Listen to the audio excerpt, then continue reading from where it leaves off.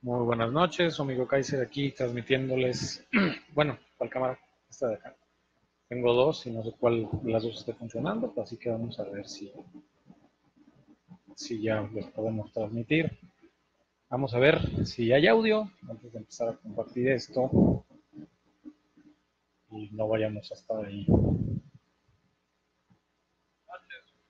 Sí, sí. Así que pues bueno, vamos a empezar a compartirlo en todos los grupos que todavía nos dan chance ahí de. Yo ahorita la estoy haciendo la producción, aunque hay glitches en la cámara, es lo que nunca me ha gustado. Acá el internet, bueno, pues está, yo creo que al mismo nivel que el que está allá en Veracruz. siempre experimentamos problemas técnicos, pero pues el paredón de Hanlon siempre pues, va a transmitir, ¿no? Este colectivo de enfermedades mentales, físicas, agónicas y pues mucho más. Ale, ¿cómo estás? Mucho gusto. ¿Para cuándo se arma la otra reunión? Ahí pónmelo en los comentarios. Ahorita lo empiezo a compartir, gracias a los que se van a, a sumar a la transmisión. Vamos a, ahora sí le vamos a pegar a rayito, la verdad. Hay muchos temas que pues me hubiera gustado eh, compartir con el crew, pero pues en vista que están malos o tienen mucho trabajo, pues bueno, vamos a, como ese meme, ¿no? Para empezar a agarrar vuelo, pues ya si ustedes tienen alguna pregunta y pues contestándole ya al tocayo Balán, pues ahora sí hay, hay cosas que se han puesto muy peliagudas. Antes de empezar, antes de, de darle más para adelante, vamos a saludar a los, a los amigos de todos los grupos de índice político, de la clave online, que por cierto, pues ahí transmitieron, también tuvieron un problemita técnico tuvieron que grabar y aventarlo, pues yo que aquí lo, lo transmití, lo, lo, lo, retransmití, lo agaché y lo aventé, de que el estado de Veracruz también está pues, la fregada. Aquí tampoco cantamos malas rancheras, ¿no?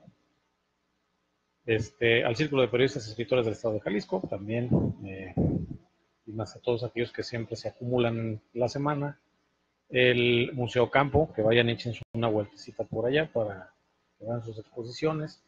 Y pues ya les vamos a traer algunas otras, por ahí se está cocinando una conferencia por la presentación de Muradi, del Museo del Radio, que por ahí lo presenta la, señora Victoria Falcón, que ella pues ahí trabaja en medios, obviamente, obviamente es más famosa que nosotros. la señora Victoria Falcón sí trabaja en medios establecidos, eh, periodista y ella también colabora ahí en el Museo del Radio, pues va a haber una conferencia, ya los detalles se los doy en, cuanto los tengan, en cuanto yo tenga la publicidad, ahí les aventamos el, banner para que lo chequen. Bueno, antes de pues, todos los clásicos, clásico de clásico, siempre el encabezador. Y empezamos con Trump, como siempre. Trump y el, el shit theater, como le han dicho a muchos, este teatro de operaciones cacas que ha hecho totalmente un desmadre del mundo, prácticamente ya saliendo, ya, ya va de salida por su cuarto año. Este, está muy difícil que se vaya a reelegir, francamente. Sí se ve muy, muy, muy, muy eh, difícil que gane la reelección, más aún cuando ha tenido todos estos problemas, ¿no? Problemas con China, problemas con Rusia, problemas con Europa, problemas con Asia, con México y todo a raíz de, una popularidad que pues ha venido en picada, ¿no? La personalidad de este cuate que pues, no tiene clase, ya lo he dicho yo. Trump es como esa canción de Blur, a Charmless Man. Es totalmente pues un hombre sin gusto, sin categoría y el mundo se ha dado cuenta pues creo que muy tarde, ¿no? El Partido Republicano pues está haciendo pues nadando de muertito, haciéndole al tío Lolo que pues no, no oye nada, no ve nada simplemente el último, eh, las últimas grandes consecuencias que tuvo su, falta de tacto político, pues esta desestabilización en Ucrania, esta retirada de tropas en Turquía, que, deja prácticamente a los kurdos como tiro al blanco, que desestabiliza toda la zona de medio, de este, de este Oriente Medio, pues todos los extremistas en la frontera con Irak, con Siria, hay un, hay un reverendo desmadre geopolítico que no se las acaba. También obviamente tenemos los problemas de la guerra arancelaria, de la guerra arancelaria contra China y que pues inevitablemente pues nos lleva entre las patas a nosotros también. Es, es algo que pues de alguna forma eh, fue el, el, hombre se metió a darle palos de ciego, ¿no? A ver qué le pegaba. Obviamente, pues no le pegó ninguna. Y pues ahora viene este impeachment, que pues parece que ahora sí los demócratas están alineando pues para sacarlo de la, de la carrera. Muchos eh, demócratas, yo lo había dicho, eh, si no se bajan de la carrera, pues no van a tener una posibilidad real de ganarle a, Donald en su, intento por reelegirse.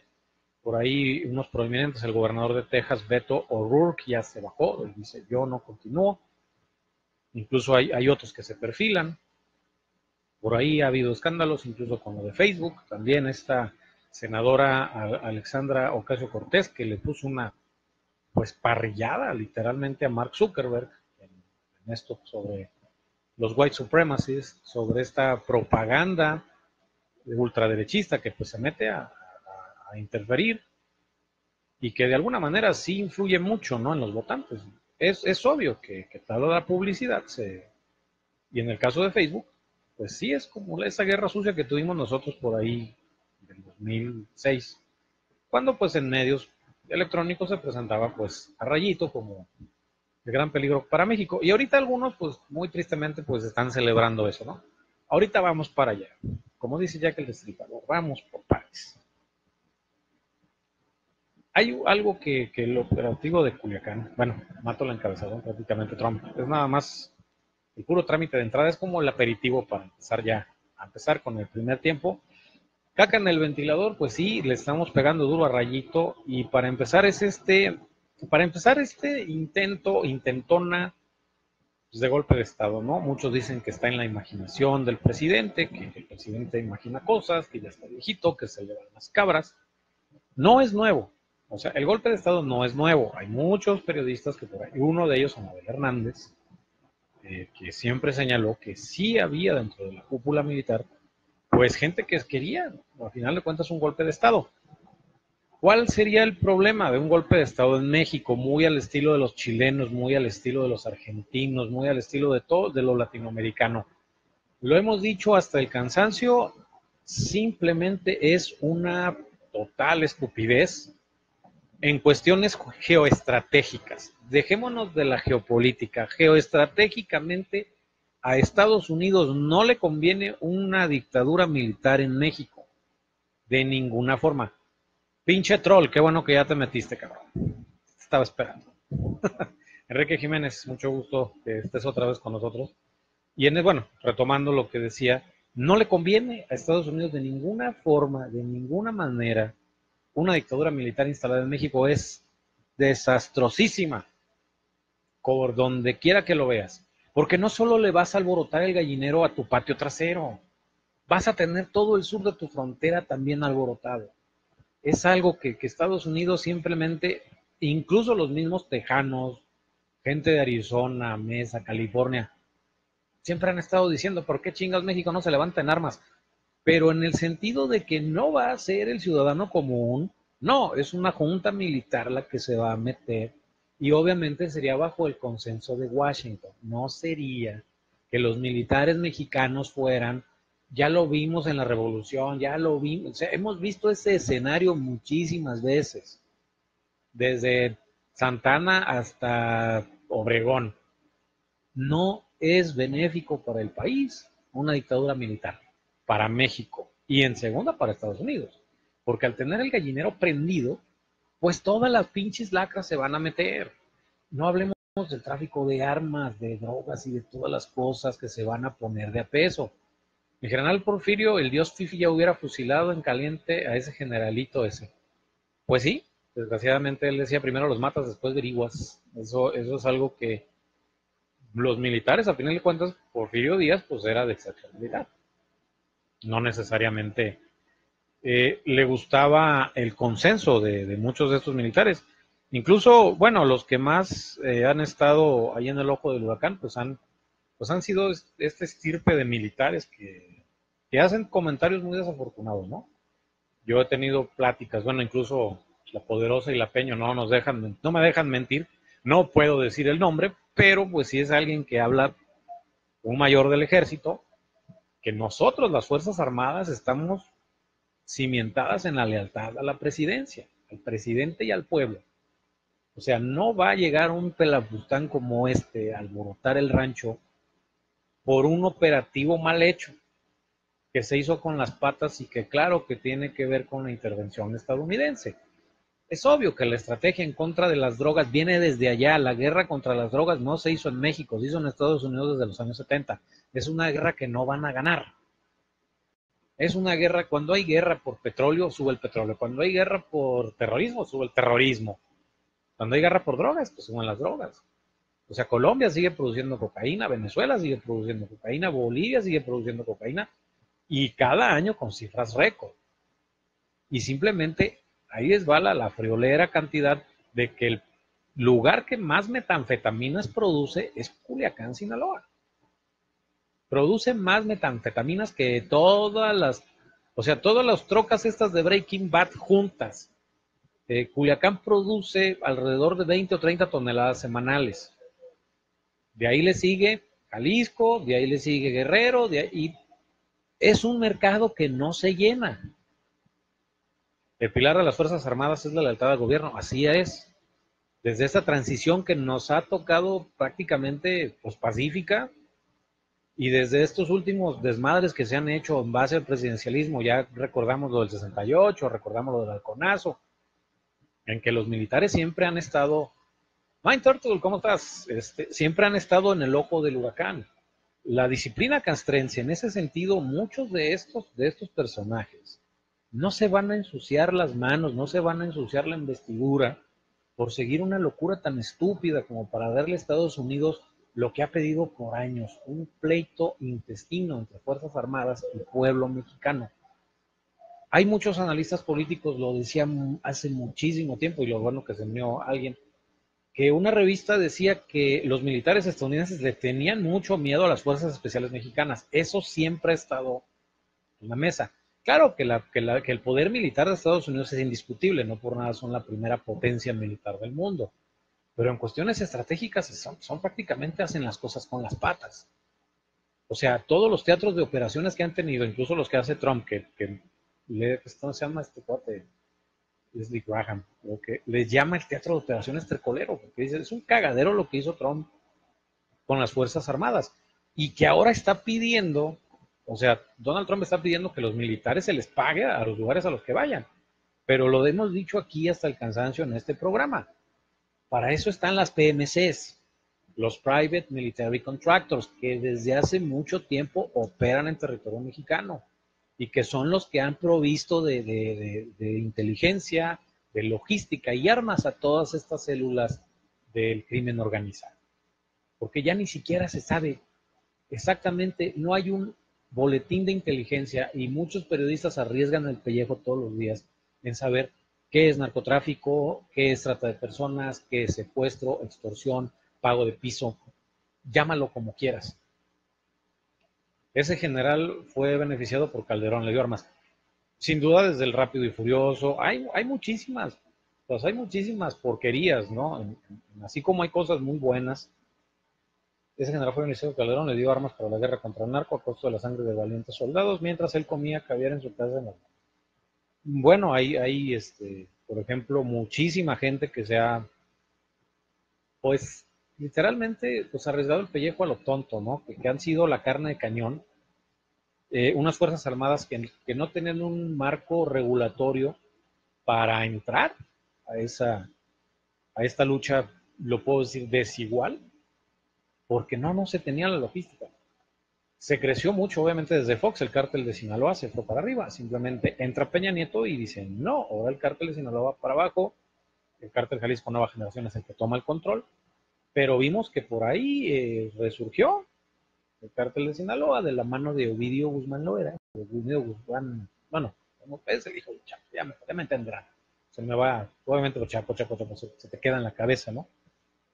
Pero nadie esperaba esa reacción desmedida, o sea, ese pitazo que se da dentro de las mismas fuerzas de, eh, ¿de? La, de, la, de la Guardia Nacional, de la Policía Federal, del Ejército, de la Marina. ¿Quién fue el que avisó para esto? y estos ecos que se ponen a sí mismo como una excusa para este golpe blando. Porque en realidad, por mucho que se diga que, se salvaron vidas, es desastroso el, costo que, le, que le da esto a las Fuerzas Armadas. El costo es altísimo, no se podría de ninguna manera eh, pues sanar, yo creo que ni en todo el sexenio. Necesitarían un golpe de impacto mediático. Necesitarían, creo que cinco o seis capturas al hilo, cosa que el mismo presidente, pues no es su estilo. Lo vemos muy difícil que alguien vaya a llegar y que vaya a hacer un montaje estilo género Parcial Luna y haga toda esta eh, operación junto con los medios y digan, miren, capturamos a fulano de tal y así, así, así, ¿no? No se ve muy fácil, en el sentido de que hay mucha grilla. Los periodistas que están investigando, para empezar, sí están obviamente bajo amenaza. Todos aquellos que han este, de alguna manera coadyuvado para que se destapen estas cloacas, pues están bajo la sospecha de que pues, uno de los cuates tiene, está espiando. O sea, los militares a final de cuentas tampoco son una perita en dulce y eso es algo que es para levantar las dos cejas. Las fuerzas castrenses de este país tienen, a final de cuentas, también una plataforma en la cual siempre han operado y en la cual sus sistemas de inteligencia, pues es una cuestión del general en turno. No necesariamente el presidente. El presidente, igual como supremo comandante de las Fuerzas Armadas, pues no lo puede saber todo. Y es una cosa que por ahí se le ha se le ha complicado muchísimo. esa comunicación entre el presidente y el ejército, eh, antes es el presidente, no el, que le da la orden y el, ejército sería el mandadero. Pero aquí hay una cosa de encuentro entre pues, un estilo de, mandar distinto al pasado, que todas las órdenes venían de Estados Unidos, ya sea la DEA o la CIA, y el ejército mexicano solo se encargaba de al carbón, de copy and paste, hacer lo que se le ordenaba. ¿no? Eso era, a final de cuentas, todo lo que queda de este eh, fallido eh, operativo que se le ha dado la vuelta al mundo, que también por ahí, pues, pues todos los cuates le han dicho al presidente, no, yo he visto películas de acción y yo sé cómo es un operativo de seguridad. Yo no podría decirle al presidente, yo no podría decirle al ejército cómo es un operativo de seguridad. Pero de que tienes que ir armado hasta los dientes para al menos contrarrestar la potencia de fuego que tienen los cárteles, es otra cosa. Y el puede, puede capturar peces gordos, pero políticos. ¿Cómo que caiga preso Romero de Champs? Pues hemos visto ya, eso es algo, qué bueno que hablas de esto, porque sí hay eh, mucha desesperación ya. Ya no es este, darle, darle paciencia al presidente. Ya se fue un año y no estamos moviéndonos en ningún lado, ¿no? No es el airecito de la política, no fue la Rosa de Guadalupe, no. El barco se quedó atascado. Es la opción, es la, la onda que se da ahorita. Hay cosas que he discutido obviamente con el tocayo, que, he platicado con algunas otras personas.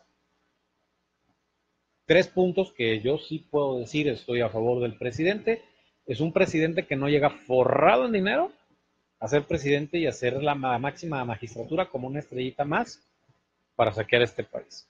El presidente no llega con una desaprobación popular, no llega, no llega alabado por los medios, no llega como el próximo Salvador o como el Mesías, porque realmente también vamos a hablar de eso.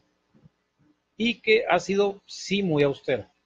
Sí hay austeridad en el gobierno, pero también ha rebotado en el espectro malo programas sociales siguen atascados, la falta de medicinas, la inseguridad y la impunidad han seguido exactamente igual. Ah, está Brenda. han seguido exactamente igual. De ninguna forma creo que ha cambiado el panorama, de ninguna, de ninguna manera, de alguna manera se ha podido cambiar la, estática de donde estábamos, de lo que se prometió. Eso es el primer año. Obviamente hay muchos claroscuros, no se ve muy fácil que al siguiente año estamos en una recesión. Económicamente sí. El mundo está golpeado, obviamente el capitalismo es un caníbal que se traga las manos cuando empieza a tener hambre. China está desacelerándose, Alemania con la Unión Europea, Rusia no está gastando, y no se diga de todo el turmoil que está por abajo de Latinoamérica. O sea, Latinoamérica prácticamente está dando un torzón de cuello de 180 grados y produce una tortícolis y claro que le produce escalofríos a muchos inversores. Cuando se habla de inversores extranjeros, pues siempre decimos China, Rusia, Alemania. Ahora, lo que pasa en Europa con, con el Brexit también tiene muy nerviosos a muchos acreedores y a muchos inversores. Y los grandes bancos están estancados y el crédito está estancado. Y México, que sufre el embate de las calificadoras, cada que le quieren pegar una piñata vienen y le pegan a México, ¿no? Y por cierto, felicidad de muertos para todos, que ya pasó. Pero en ese sentido, pues, esperemos que se enderece el frente. Y vamos a una que pues no le va a gustar. Este no le va a gustar al señor Aurelio ni a la señora Mónica Camarena de allá de... Al señor Aurelio Contreras y a la señora Mónica Camarena de allá de la clave online de Jalapa, Veracruz. Y es pues los periodistas y el bozal, ¿no? Que pues sí, el presidente pues ya prácticamente les ha dicho perrada, ¿no? Todos. Pero pues ese adjetivo ya lo hemos oído antes. No es la primera vez que se usa, lo usa Madero, muchísimo tiempo. Pasó con Fox en el 2000, que, la prensa se le dejó ir directamente a la yugular. Obviamente una prensa que tuvo este leverage, que tuvo esta, este descansito de que ya no le, ya no le, este, ya no se le imponía esta censura tácita de su presidencia, que, el Chayo pues le seguía llegando y, la, máxima de López Portillo, no pago para que me peguen, ¿no? Sin embargo, pues el presidente, pues creo que se le fue, se, le fue demasiado, está, el clima político está muy crispado como para que le digas a los periodistas esto. Que hay chayoteros, claro, que hay lamehuevos, como siempre, que hay abrillantasables, claro, pero generalizarlos a todos los periodistas, que yo lo quiero decir obviamente, yo no soy periodista, al menos no de la primera vista. O sea, haces tu trabajo, haces tu tarea, investigas, te pones ahí, ves las fake news, acrónimo de Trump, por ahí neologismo, ¿no? Pero el gran problema de, esto son las mañaneras. Ya lo había dicho yo muchas veces, señor, agárrese un vocero y usted no salga ahí. A ver, señor presidente, deje de hacer ese pinche circo que hace todos los días y que usted se da en la madre todos los días. Aunque usted viva al día y sea congruente día a día, cuando se hace el recuento de, los hechos, pues que hay muchas contradicciones. O sea, usted va manejando en piso, en, carretera mojada, derrapando. Eso no es bueno para, el país, no es bueno eso, o sea, por millonésima vez. Hay un equipo de asesores que usted puede contratar, que nadie le va a decir nada, pero usted desde el púlpito de sus mañaneras sigue diciendo y sigue dictando la política como ese a brillantes que es Antonio Tolini, como todos aquellos de la 4T, que ahorita ni se ponen de acuerdo, porque también voy a hablar de ellos, porque ya tenía mucho que no, que no golpeaba lo que decía en izquierda. Y esto es lo que me trae muy cabreado, que mientras uno trata de ser mesurado, uno trata de decir, bueno, dejarlo trabajar, pues sí, el hombre ha llegado a extremos totalmente paroxísticos de que, pues, a ver, no hay más que venganzas políticas y es lo que se, que se nota. En ese sentido, es, obvio que la gente se va a encabronar. Cuando tú le dices a un periodista, sea no chayotero, cállate la boca, mm, no, es como decirle a una, pues es como decirle a tu esposa que se calme cuando está nada. O sea, estás cometiendo el peor error, ¿sí? Es lo que siempre he dicho. No eres periodista de espectáculos, esto no es ventaneando. Ya quisiera, güey. Pues, ¿Por qué crees que no? Anda, no ponemos el Patreon por lo mismo. Tienes que cumplir agendas. Y, en, y a final de cuentas, el, pues el show de las mañaneras es, es eso, ¿no? Es, es el show del mal gusto que ya no cae chido, que cuando él fue jefe de gobierno, pues sí, era la novedad, era, era lo bueno. Nadie lo hacía, pero ya, ya lo choteaste, o sea, es como, es como cuando revivieron expedientes X, ya no, algo se había jodido, ya no llamaba la atención, o sea, sí estaba Molder y sí estaba Scully, pero ya no cuajaba. O sea, no sé. No, y más tú, cabrón, a ver, arriesgate. Pero en ese sentido, es, es la contradicción pura y segura de lo que estás haciendo Respeta el trabajo periodístico, las mentiras y el chayote se nota kilómetros. Pero salir y que no te guste la crítica porque debes de ser muy transparente cuando estás ahí arriba. ¿Tú crees que a Peña Nieto le importa que lo critiquen de ratero, de, inútil, de estúpido?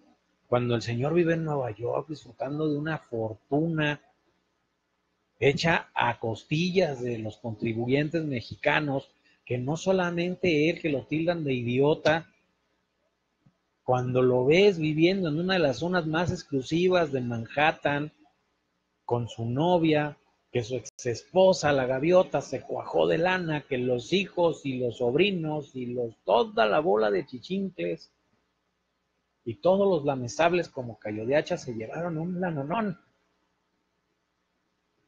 Eso es lo que creo que tendrías que hacer una pequeña diferencia. Pero gracias a eso, claro que seguimos hundidos como país. Claro que ese mal periodismo es el que nos está hundiendo. Y para muestra basta un botón, ve al vecino del norte, ve Fox News. Cuando ya Fox News le está tirando al presidente Trump, es que algo no está funcionando ni para ellos. Y aquí el presidente no llegó con, con los medios arropándolo. Eso es algo que él debió haber pensado si no lo pensó. Quiero creer que a la mejor se fue con la finta. Pero también vienen los viejos consejos y las viejas frases matonas, la del señor Belo Contreras, coincidencias políticas no existen. No creo que no lo haya pensado.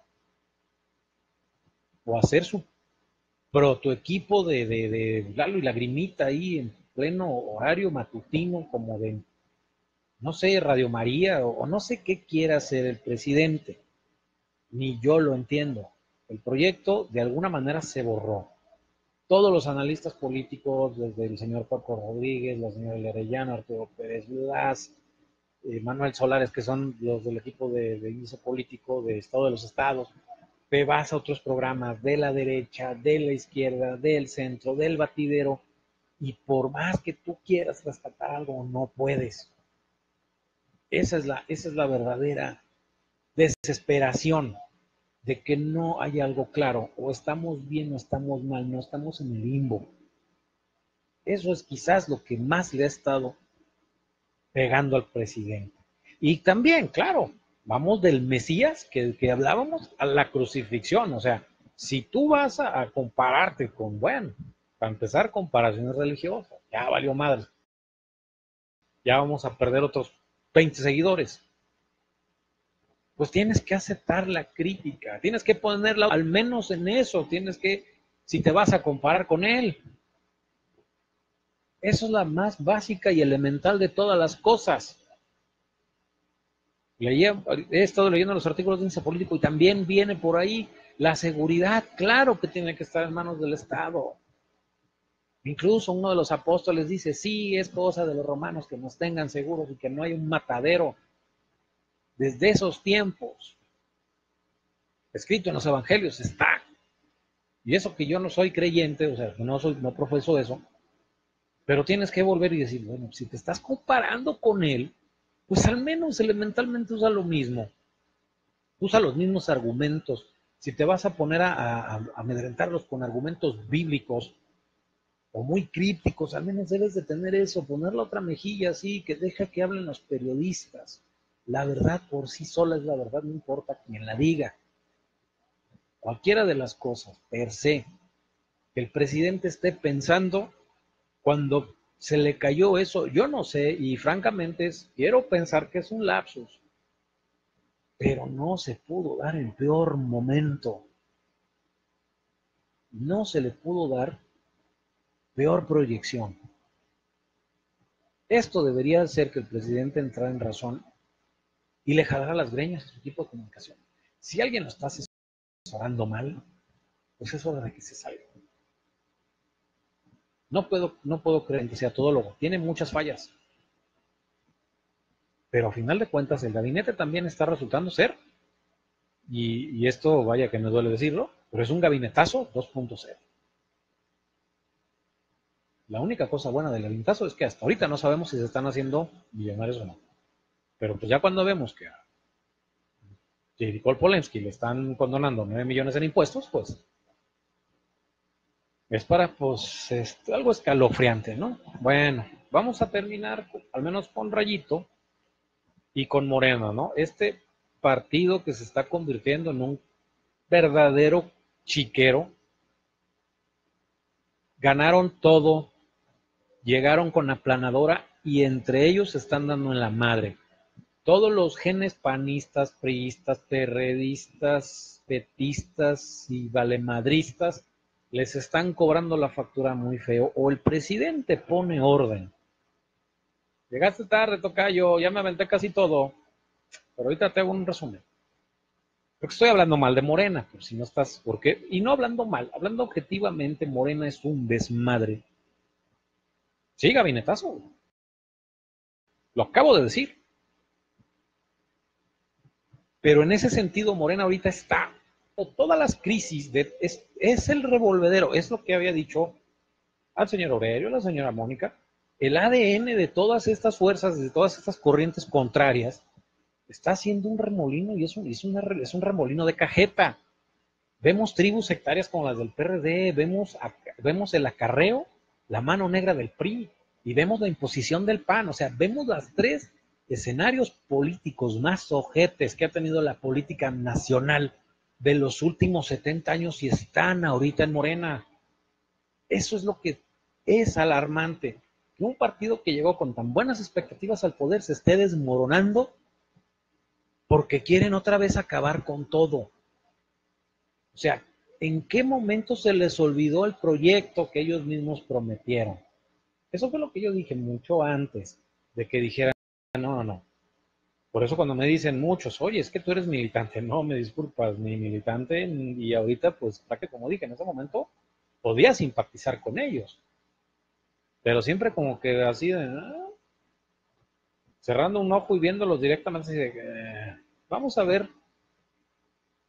Y en menos de dos años se están convirtiendo en ese chiquero. Empezando por el imbécil incompetente de su creador. Acabas de llegar tarde, Bueno, para la otra, te voy a mandar, un, te, voy a hablar por teléfono, cabrón, para que te metas. Sí, ya después, este, estamos viendo lo de las invitaciones. También invité a Enrique Jiménez resúmeselas. Nuestro troll favorito. Pero en ese sentido, eh, Morena se está, está cayendo, al menos de los, de los grandes cuadros, ¿no? Que lo único rescatable, y sigue siendo la señora Tatiana Cloutier, la tía Tatis, es la única que puede tener, y por eso lo dije desde mucho antes, que incluso llegaran al gobierno, por eso ella se salió de todo este desmadre y mejor se puso en, tras bambalinas, ¿no? Se fue por una senaduría, es, es ahorita, la señora guarda un perfil bajo, trabaja en iniciativas para quitar a plurinominales, es lo que sí está trabajando. Pero tenemos a todos estos rémoras de todos los partidos que no alcanzaron hueso, los convertidos, los perdonados, los reconvertidos, esta ola de cristianismo morenista, vaya que les queda, y es lo que está desmoronando el partido. Simplemente muchos han dicho, el presidente ya llegó, le puede valer madre y puede dejar morir al partido. Claro que lo va a hacer. En sí el partido era simplemente la plataforma del poder. En eso podría ser congruente. La Tatis Rules a huevo. La señora me gana simpatía. La verdad, ha sido de las pocas que se han mantenido congruentes ante todo el embate de cagada que ha estado pasando en Morena, en todas las asambleas en las que han querido tener estas eh, esas votaciones que se han impedido de alguna forma, que se han agarrado a madrazos, que se han mentado la madre, que se han aventado sillazos. Es esa ansia de poder que ya no tuvieron. Y es la clase de políticos que no deberían estar y que no deben estar figurando en esos cuadros.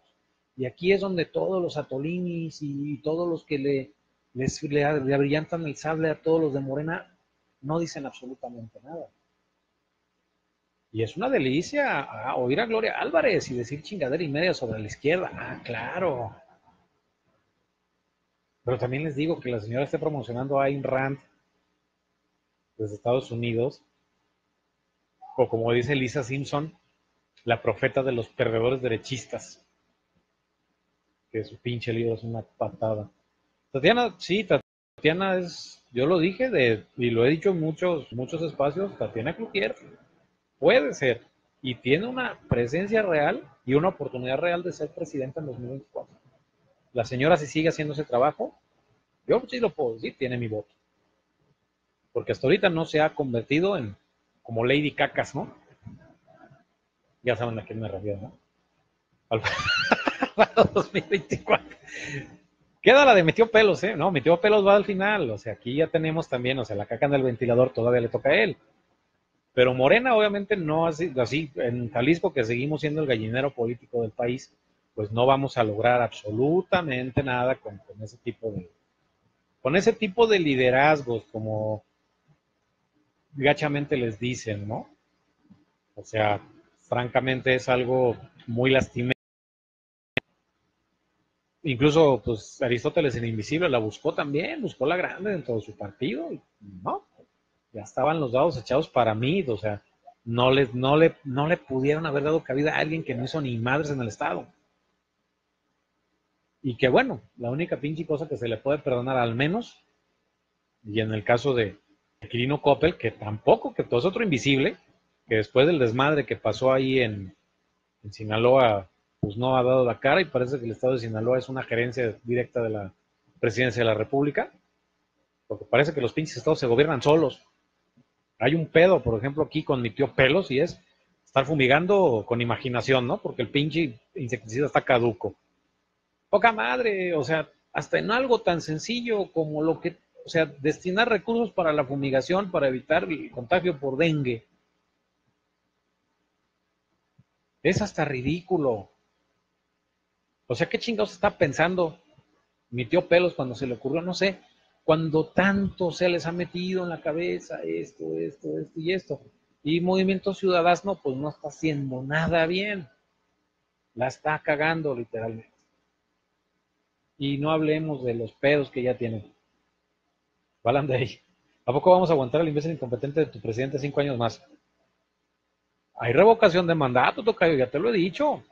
Es un momento de brillar. Quien no lo quiera, en lugar de ir a hacer sus marchitas o, o de ir a aliarse ahí con el tío Borolas, ahí con el. Cuando chupes, pues vayan y pongan su voto. Y hasta yo puedo decir si puedo cambiar de opinión. Eso es algo bueno. En una democracia se vale. Yo no puedo decir, yo voy a apoyar a mi presidente hasta el 2020, ¿qué? 2024. Como dice, no te apures. No falta un año, faltan como cinco. Decía tu presidente. Pero sí, y es como lo he dicho hasta ahorita, como todo lo que te perdiste. ¿De qué? Pues de que estamos estancados en una crisis y la crisis es global. Pero, ah, cuando la crisis fue global, Aquí sí los de Televisa salieron a decir la crisis que llegó de afuera. Y tú échale las ganas. ¿Todavía recuerdas a este Eduardo Yáñez cuando todavía no se dedicaba a ser boxeador profesional? Y a Galilea Montijo y a todos esos actores de Televisa. Con esa mamada de la revocación, ¿de verdad crees en eso, Tocayo? Si está en la Constitución y, y pasó. Eso es lo que hacen los cambios, eso es lo que hace constitucionalmente. Si es la revocación de mandato entra, hay un, hay un cuate que dijo, hasta el inventor de la democracia, dijo, a ver, votenme cabrones, a ver si yo soy chingón. Y lo tronaron. y eso es desde Grecia, desde más de dos mil años. Si ese güey le fue como en feria a la hora de decir que, votaran por él y que él iba a ganar, ni madres. Son clases de historia. Ahora, ¿qué pasó con, con la ley Bonilla también?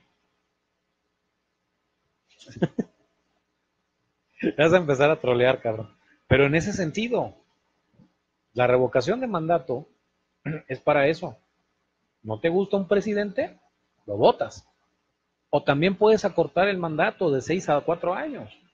Lo que te decía, lo que me decías la otra vez, ¿no? Es que Angela Merkel, Angela Merkel lleva cinco presidencias al hilo. Y mi tío Vlad lleva dos. Ah, pero Angela Merkel dice, es que no es culpa del pasado. Pues claro que no te vas a echar la culpa tú cuando empezaste en Alemania en el 2000. O sea, de pendeja se te ocurrió decir, fue culpa de Angela Merkel. O el tío Vlad está diciendo, ah, no, le echa la culpa a su compadre Dimitri Medvedev. Pero ves el crecimiento sostenido de Rusia en base al apalancamiento de deuda y explotación de recursos naturales. Ah, cabrón. Y claro, el crecimiento de sus Fuerzas Armadas con sus putas consultas cagadas. No, con votos reales certificados por el INE. Pero ese es, el, ese es el momento en el que ustedes han dicho, han convertido revocación de mandato en reelección. Y si algo así pasa, yo voy a ser el primero que va a salir y le voy a decir, a ver, estas mamadas, ¿qué? Ese es el problema de la diatriba de la derecha. No digo que tú seas derechista, ¿eh? antes que nada, porque todos se ofenden. Pero el repetir mantras ajenos es lo que Andrés Manuel es un peligro para México. Ya nos pasaron por encima las aplanadoras. Con Andrés Manuel, ¿qué está pasando? Claro, estamos en el estatismo, estamos en el limbo. El pinche barco está atorado, claro. No vemos para dónde va el país. Sí, pero sí veo mucha pinche gente que tampoco lo deja avanzar. Veo gente que se ha estado amparando para no pagar sus pinches facturas. Algo bueno, y esto sí lo he visto y lo he compartido con amigos de San Juan de Dios, que tú sabes, se ha combatido menos la informalidad y se ha combatido más la formalidad en forma de no pagar impuestos. ¿Cómo me presume un ciudadano que simplemente porque un presidente no le agrada, deja de pagar sus obligaciones al Estado mexicano, sus formas de impuestos?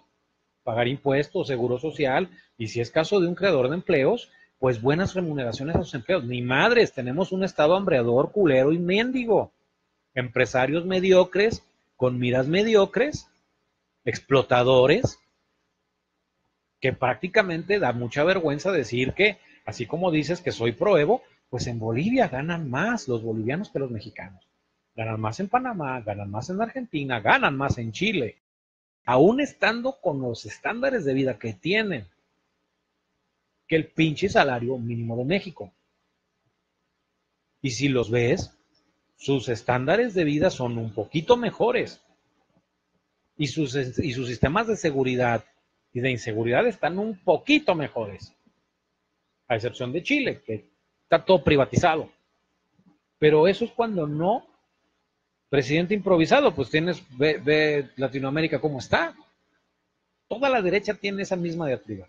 Toda la derecha o todo aquel que no investiga o que parece que no tiene memoria no es defender al presidente a lo pendejo, tiene sus errores, claro que los tiene, pero el problema está que le está pegando una clase que nunca se quejó del país que sufrieron esos 30 millones, porque así lo tengo que decir, de mexicanos que se los cargó la chingada durante muchísimo tiempo, porque pareciera que nada más 30 millones son los culpables de que este país se lo esté cargando la chingada. Así como esos 30 millones, parece que esos 30 millones son los que le están engordando las cuentas a Wall Street por lavado de dinero, por el narco, por el crimen organizado y por todas las pinches acciones ilegales que este país tiene, cuando el 1% de la población, especialmente los banqueros, se chingaron 100 mil millones de dólares del Fobaproa. Y que esa deuda tú y yo, Tocayo, la vamos a seguir pagando hasta nuestros tataranietos. Bueno, si estás atacando que el hombre no sabe hablar, pues no lo escuches. Es lo que he dicho. Las mañaneras son una mamada. Eso yo lo digo. Cada que salgo este pinche programa, las mañanas son una pendejada. Voy a hacer ese hashtag, las mañanas son una mamada. Y déjalo, déjalo pongo, déjalo pongo de una vez. Lo bueno que tengo acá el. Este, ¿qué dice pinche porro parásito? No tirar miedo desde afuera que ser presidente, claro. También lo dijo de alguna manera Fox, Chiapas en 15 minutos. ¿Cuánto llevamos? Todos los presidentes la han cagado, todos los presidentes han dicho que. Calderón, Fox, ninguno se salva. Y, curiosamente no se salvan de la realidad, Tocayo, no se salvan de su propia lengua. Pero que sí el que fue más lenguaraz de todos ha sido Vicente Fox. Mira, las mañaneras.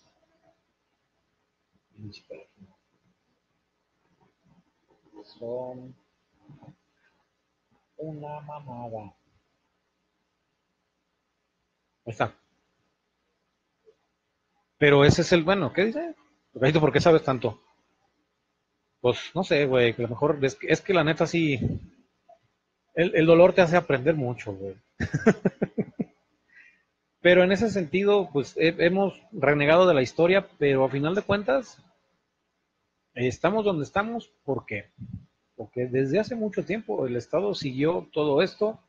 México siempre ha sido una gerencia de Estados Unidos y cuando tratas de, moverte de esa zona, cuando tratas de salir de eso, pues prácticamente tienes un imperio que te está pisando las, está pisando la, cabeza con un pinche clavo, ¿no? Ah, neta. Pero en ese sentido, luego, quiero, quiero ser muy enfático. Lo que hemos estado viendo en todo este año es un jaloneo entre nosotros mismos. Y, y los extranjeros nos siguen comiendo el mandado. China sigue creciendo, India sigue creciendo, los BRICS siguen creciendo, muy a pesar de Bolsonaro. Estados Unidos se está hundiendo y Estados Unidos al hundirse se hunde prácticamente nosotros vamos con ellos. Las reservas, todo esto, el sistema económico no ha cambiado, desgraciadamente no lo pueden cambiar. No hay una manera de apalancar el peso con ninguna otra moneda, con ninguna otra divisa. Las mineras siguen trabajando, siguen siendo propiedad canadiense, el petróleo sigue entregado a los Estados Unidos, la banca sigue siendo extranjera, las plantas productivas del país siguen paralizadas. Lo demás es simplemente es una olla de grillos, todo lo que estamos viendo en este pinche país. Y es así, y es así, y es así. Y podemos hablar 52 mil programas de lo mismo. Incluso con el cabrón de Enrique Jiménez lo hemos dicho hasta el cansancio.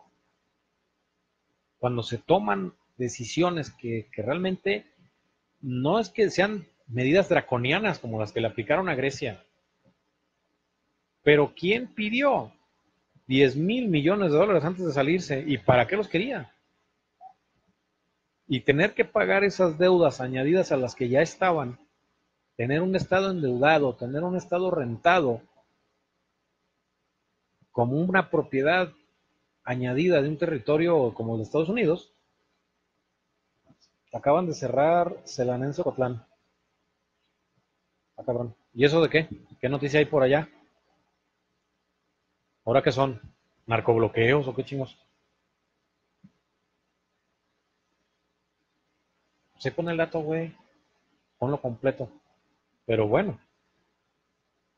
En ese caso, si no hay más que añadir, ya llevamos, oye, cabrón, llevamos 46 minutos, 47 minutos. La estrategia de este hijo de puta fue decirle a la clase baja, media, baja, lo que querían escuchar y con eso se los echó a la bolsa.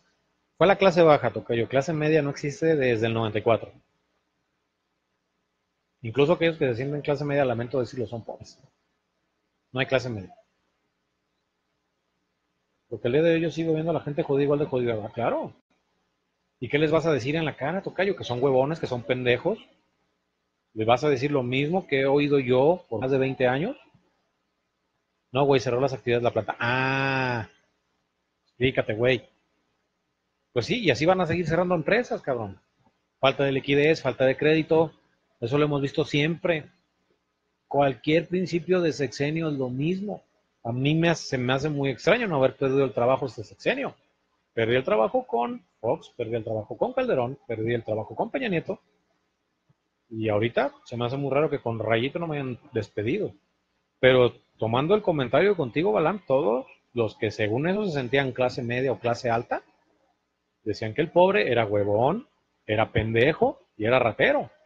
Pero los terminaban volviendo huevones, pendejos y raperos. Pero muchos de ellos, estaban en el gobierno. Tú le vas a decir a una ama de casa que gana 80 pesos diarios partiéndose la madre. Ah, está la producción. Los godines creen que por deber en Coppel el iPhone ya son clase media. Como dicen, estudiar te va a hacer darte cuenta que tener un iPhone no es el clase alta. O sea, eres un borrego. Bueno, miren, ahí está la producción. Es que eres prensa fifi. Uh, ya quisiera, mijo. Estoy, estoy grabando con una cámara de 3 megapíxeles de hace 10 años. Así que. Pero bueno, vamos a. Vamos a, cortarle al batidillo. Para la siguiente tocayo te voy a mandar una invitación para que te. Es más, vamos a hacer hasta una pinche videollamada para que pongas ahí. Voy a, voy a habilitarte ahí los... porque a veces yo también a la, a la producción, mira nomás, chulada de... Bueno, es, un clon de mi esposa, ¿eh? no sacó nada de mis facciones culeras. Eso es lo bueno. Así que, dile Vamos a cortarle por bien, por el bienestar de las futuras generaciones que están aquí por cierto, hoy me tuve que chutar una de sus juntas. y vamos a cortarle, este, sí, pero mi tío pelos para los 2024, al rato lo pongo, al rato lo pongo en, en el hashtag. Vamos a, recomendar algo que pues ya tenía mucho que no, no me daba por ver cine, no decir mexicano, no decir estadounidense, pero es como, es, es como estas borracheras en la cuando los gringos llegan a Tijuana y los de aquí en lugar de darles tequila les dan mezcal. Vi por ahí, me recomendaron, un amigo me recomendó ver Belcebú con Joaquín Cosío y este cuate de Robin Bell, que, que sale en, El Juego del Miedo, en So. Este, pero él no sale como, I want to play again, no, sale de ahí como un exorcista, como un sacerdote muy parecida a esta película de Hitler que se llamaba El Come Pecados, pero sí, sí, gracias te Sí, cabrón, qué bueno que no sacó mis genes. Y el tuyo tampoco, sacó tus jetas, mendigo. pero bueno. Y esta película Belcebú, pues habla de, pues sí, le pega, te pega porque pues obviamente tienes en ese sentido el chip ya de padre de familia y empiezas a ver estas máscaras de bebés en un hospital. Recomiéndale a las que se va. recomendando. Jabón bolita, jabón sote. Pero en ese sentido, eh, cuando empiezas a ver esta película, yo la verdad la empecé a ver como eso de las 12 de la noche, dije, ah, pues igual me duermo como hasta las 3 de la mañana. En cuanto vi la primera escena, ya no pude parar hasta que la terminé de ver. Es una película que pues chafea en algunos aspectos, como que no tiene subtítulos, el inglés pues es salchichero, Joaquín Cosío y este cuate que sale del otro, de, salen este, hablando un inglés bien salchichero, la neta, pues no, ni pocho, ¿no? El, personaje se llama Ritter, eh, José Ritter, no sé qué chingas. Kaiser 2024. Eso no lo había leído. Pero sí, por lo regular, este, nunca tengo tanta, nunca tengo tanta gente junta. Y cuando empiezas a ver a este personaje, cómo se desarrolla, que es parte de esta tragedia, y de cómo se desenvuelve la historia de un Mesías, entonces te pones a pensar realmente en estas cosas de la eterna lucha entre bien y el mal, el demonio, el creador y todo esto. Tiene muy buenos argumentos, tiene... Te recomiendo Pánico en la montaña con Pedrito Fernández. vacaciones de terror, antes no lo dijiste, la risa en vacaciones. Este, y entonces, pues, esta película bien producida, pues por ahí Pastorela Films y pues hecha por algunos otros, que por ahí tiene pues algunas referencias chuscas. Eh, el, suspenso y el terror están muy bien logrados, la verdad sí me... ¿Qué dijiste? Ah, es que están llegando con a tu comentario. Y en ese sentido, pues este cabrón del Enrique Jiménez me borra la información del chip. Y en ese sentido, pues la película sí logra un equilibrio más o menos, se tambalea, ¿no? Como las mañaneras del presidente. Pero el producto final, pues sí te deja con, ¿y qué va a pasar, no? Sí hay algunas cosas que sí las compras al precio, por ejemplo, las cruzadas, eh, cómo, cómo reencarna el mal y por qué, encarnado en quién, y obviamente pues hace referencia muchos por ejemplo, le pega a los estadounidenses en la cuestión de los tiroteos estudiantiles, pero cuando se replican aquí en México, ya tuvimos nuestro primer tiroteo. Curiosamente, cuando empezamos este programa, yo por ahí escribí un artículo que se llamaba eh, Adiós Columbine, Hola, Hola Monterrey. Y prácticamente fue como decir, ay, güey, alguien se ha de haber inspirado en esto para hacer esta película. Sin embargo, Mm, algunas cosas pues ahí están como con cabos sueltos, algunas se, nota que pues tuvieron que pegarlas con cinta y con pegamento, pero el, producto final pues sí te deja un poquito, ah, dices, eh, valió la pena, no es la mejor película, pero sí es una cohesión diferente porque en un país como México en el cual pues los tiroteos, los narcos y el desmadre que han producido, pues ya no te produce ese terror chocante, ¿no? La violencia de alguna forma queda relegada a un nivel subjetivo, no la ves, pero ves el resultado y eso es prácticamente pues lo satisfactorio. Yo sí le doy un 3, la verdad, me gustó, a excepción de pues, el inglés al chichero de estos cabrones que ni siquiera le pusieron subtítulos, que no te reencarnen. Pero bueno, si, si tiene usted tiempo hoy para verla con su familia, pues ya. Ya, no, ya lo jugaste, ya para acabar. Juega otra vez Gears of War, del 1 al 5, todo completo, incluyendo el Judgment, incluyendo el Tactics, todo lo que sea Gears of War. Estoy dándole otra repasada porque como está gratis en, Xbox Game Pass, pues están todos los, eh, todos los juegos.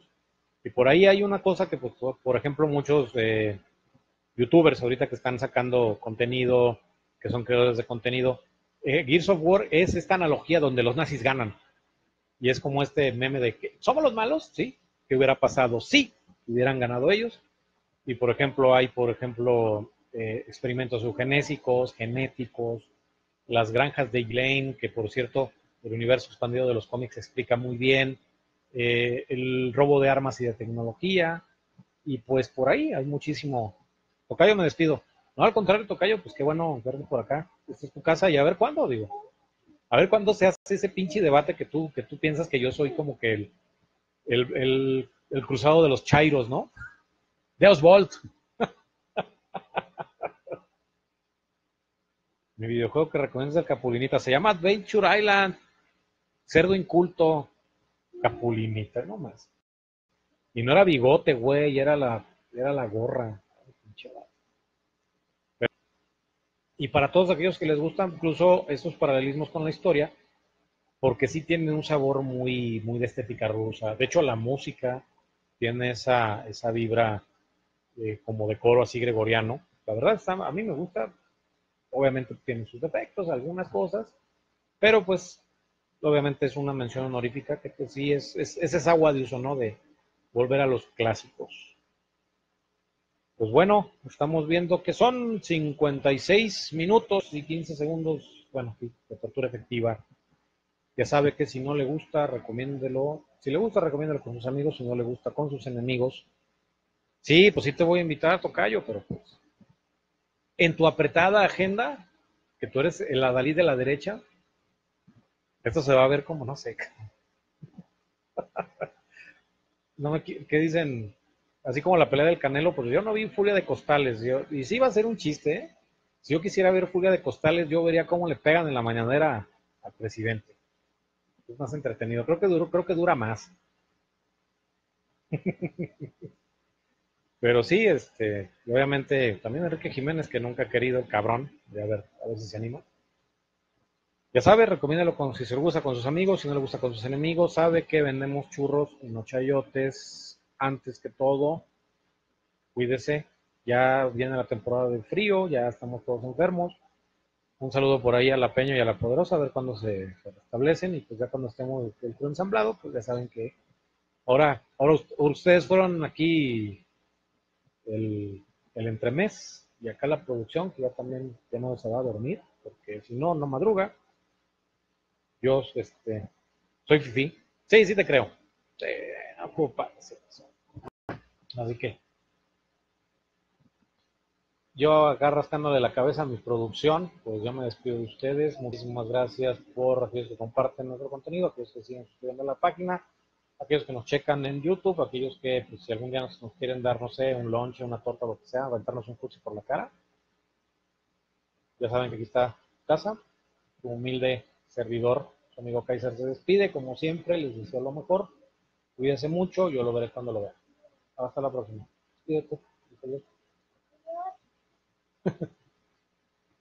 Bueno que está la producción.